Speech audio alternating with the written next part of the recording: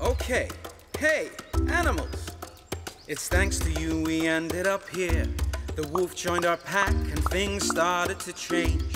Fur for warmth, meat to eat, family safe, so helpful. How did we cope before this exchange? Homes were built and crops matured. We kept warm and cooked food thanks to manure.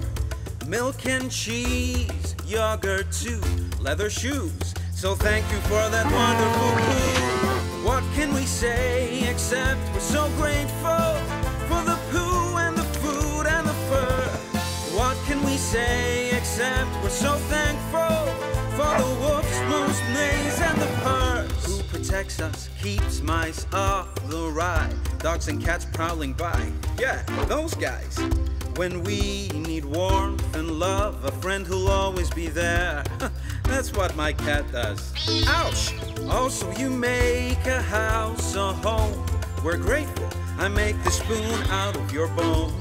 Pigs and sheep, hens and goats join the crew. We couldn't live like this without you. What can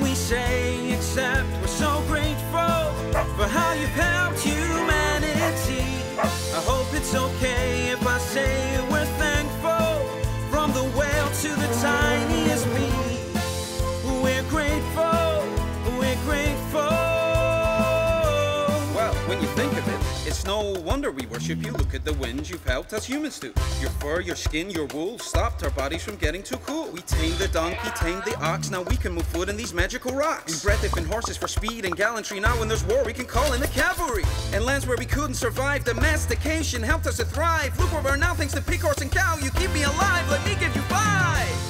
What can we say except we're so grateful